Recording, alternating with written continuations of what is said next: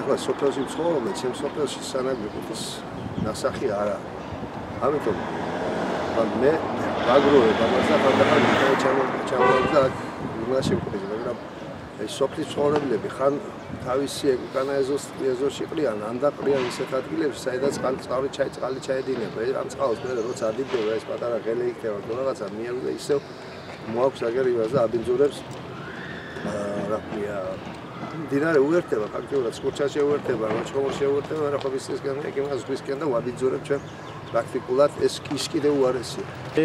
დღეს უკვე შეიძლება ითქვას რომ ამ ხრივ ნორმალური რომარობა ყველგან არის გათავსებული ნაგვის ურნები და როგორც ცივილიზირებულ სამყაროს შეფერება იმ სტანდარტებში არის უკვე მოქცეული.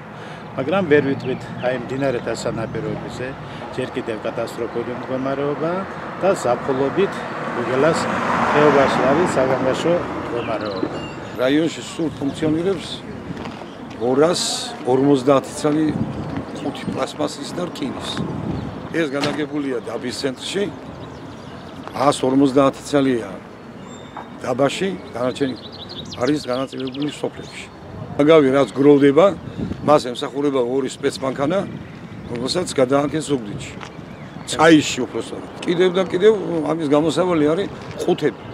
რაც შეიძლება მეტრაოდენობით უნდა შემოვიდეს, ყველა წერტილზე უნდა იქნეს და სახელმწიფო უნდა იზრუნოს და ჩვენ პროგრამა მინიმუმის მაინც უნდა გავაკეთოთ, რომ ეს ნარჩენი კონტეინერში მოვათავსო და მით უმეტეს კარგი იქნება თუ დიფერენცირებულ კონტეინერებს აი ხვალისთვის, ზეგისთვის ახლა უნდა ვიფიქროთ გარკვეული პერიოდის უკან ესეც არ გქონდა და დღეს არის თითქმის ყველა სოფელში კონტეინერი, მაგრამ პერსპექტივაში უნდა ვიფიქროთ, რომ აი პოლიეთილენი ცალკე კონტეინერში მოთავსდეს ის ნაჭერი და რაღაც ტანსაცმელი სხვა კონტეინერში მოთავსდეს საკვები ნარჩენი სხვაგან და თვითონ გადამამუშავებელი სიტუაცია რო გააგვივდეს ამ ნარჩენს.